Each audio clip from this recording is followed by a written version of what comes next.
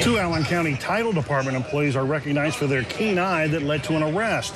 Jessica Brown and Mindy Mitchell were recognized by the investigation unit of the Ohio Bureau of Motor Vehicles with their Buckeye Award.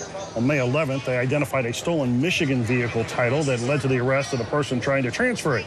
They contacted the state and the wheels were set in motion. We know what we're looking for when we find things, and that specific day, it was great that we were able to keep the suspect in our department before the police were able to arrive to apprehend him. Jessica brought the title to my attention. She said, "Hey, I think this is from our list of stolen Michigan titles." And so when I took to, I took a look at the title, I verified with her that yes, she was correct.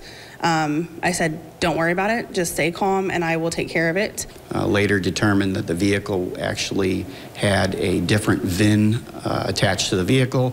Suspects were arrested, and the vehicle was identified as a stolen vehicle out of another state. Um, and that case is now pending before the uh, Allen County Common Pleas Court.